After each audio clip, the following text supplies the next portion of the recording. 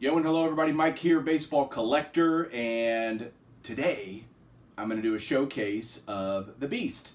And earlier this week, you guys wanted or voted on which showcase you wanted to see, Willie Mays, Roberto Clemente, or the Beast. And the Beast won overwhelmingly in terms of what you guys wanted to see. So here we go. Let me explain what the Beast is. The Beast is a show, uh, a storage case that my dad and I built uh, earlier this year, late last year, earlier this year. It probably took us two months to build it, doing it on weekends and evenings. And I really wanted to make it a beautiful piece of furniture. I wanted to make it something that we could really be proud of and I, that I could have for a really long time. And what's happened is I have filled it up pretty quick, although I still have some room in it.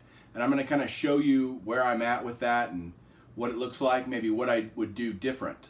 So if we pan over here, you can see the beast itself.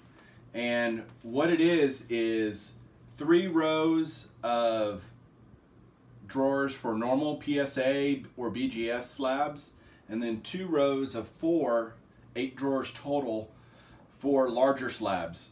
And what I think I anticipated was having way more larger slabs, which I don't. So these drawers are all empty, but what I'm gonna do, I think I have, no, I don't have any of those empty drawers. I'm gonna pull out a drawer here and show you what a basic drawer looks like. They all look the same, only smaller maybe. So they all have a walnut front, uh, a cast iron handle, and a brass, uh, whatever you call that, card holder, library card holder to show what's in it. The sides are made out of Baltic birch and they're waxed and stained. Uh, all used uh, dovetail joints for all the different joints on everything front and back. The backs are made of oak, solid oak. And inside each drawer, we measured these perfectly to where this will hold a perfect fit sleeved PSA slab, larger PSA slab. And those go in there like that. I don't have uh, drawer slides on them because I wanted to conserve space and they work just fine going in and out of the little cubbies. Here's what a you know a big slab would look like. What that looks like. So those just fit right in here perfect. So there's that. But the biggest part are these PSA slab drawers and I have 15 of those total and I have a lot of labels here for things. This is when I first started I had items in nine of the different uh, drawers. And what's happened is I start over here with the oldest to the newest. Come on up here, Julie. Stand up and kind of shoot down at it. So I start up here with all my autograph cards. These are Hall of Fame. These are actually just any autographs, any slabbed autograph.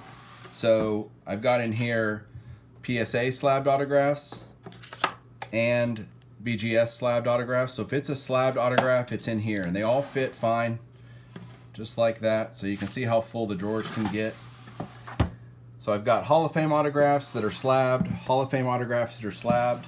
What's cool about this is I have these little foam uh, inserts that I cut out of this big piece of foam. They're really small squares. You can see that here and I cut them to size and I can they just fit right in here and that'll hold the row from sliding back or falling backwards.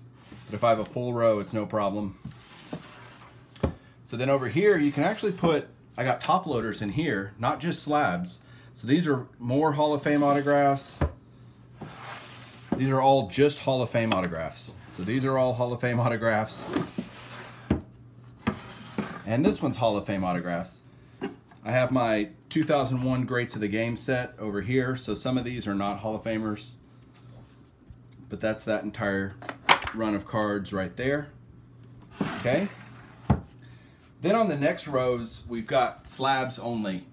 So this is part of any set that I have, any set registry that I'm using, including other cards too. But starting over here, I just, mine are organized by year. So you've got the oldest over here to the newest. So each drawer you can see how full they get. And they can come out and I can just set them like this, thumb through the cards, look at them as I need to, put them back. Each drawer, let me pull this one out, I'll show you. Get this one out. So each drawer holds 85 slabs. I'm sorry, each side of each drawer holds 85 slabs. So 170 slabs will fit into each drawer. If I filled up all 15, I could put in 2,550 slabs just in the small ones, or the normal size slabs. So they come all the way, I can just pull this out if I need to, and work on that and stick it right back in. So this one goes 1900 till about 1957. Then I got 57 through 1963. Here's 63 through 72. So I try not to fill them up too much. I try to give myself some room so I can add more cards, but these are all full. Like they go all, I don't have any inserts on any of these because I've been getting so many cards for my top or three decade set, top 300, whatever. So these are all pretty full. I've left some room here. So going down here, these were all empty before. That one and then all of these were empty. They are now well on their way to being full. So I stop right here. This goes through 2017. So I've got everything through 2017 and a little insert holding that just like that. Fantastic. Got a couple other little sets in here, some football autographs. These are more just regular Panini sets that I've been working on over the years. So these will eventually get pulled out and I'll fill this up with slabs in all of this. Down here I've got, these are all Hall of Fame autographs, big slabbed Hall of Fame autographs. Down here, everything from Hall of Fame plaques to 3x5 cards to press steels. So everything of that size is down in this drawer down here. And I only need one of them. I want one and that much, one and a little bit. So if I was to do this over, I would have done it where I had another row of small slab drawers. That would have been much more helpful to me because I'm never going to fill up these eight drawers with big slabs. I'm just probably not going to ever acquire that many. So, but it is what it is. It's a great piece. I loved working on it with my dad. It was a fantastic father-son piece in terms of just spending time together, quality time together, enjoying each other's company, getting to see how skilled he is at doing this. Um, I did a lot of the work too, but he was the mastermind behind it.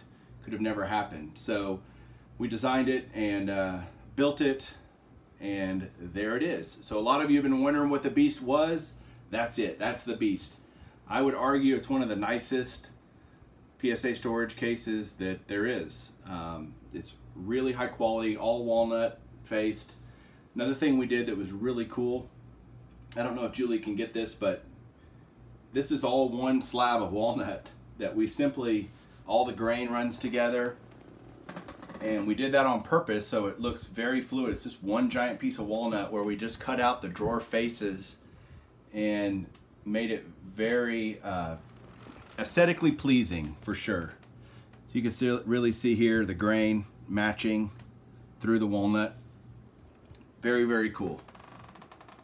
So I haven't updated my labels because I'm it's moving so fast. I keep having to shift stuff over and kind of move everything down when I fill up a row up here. I got everything has to shift. And so I can't keep up because it's kind of a pain to cut out, you know, print and cut out those little labels. So once I get a little more full, I will do a better job of keeping up with that. For now, I just kind of look in the drawer and see what's there, but they'll come in handy for sure later. So there you go, guys. That's the Beast, and I hope you enjoyed this showcase video, and we'll do another one next Saturday. For now, thanks for watching and keep collecting. And your filmographer was great.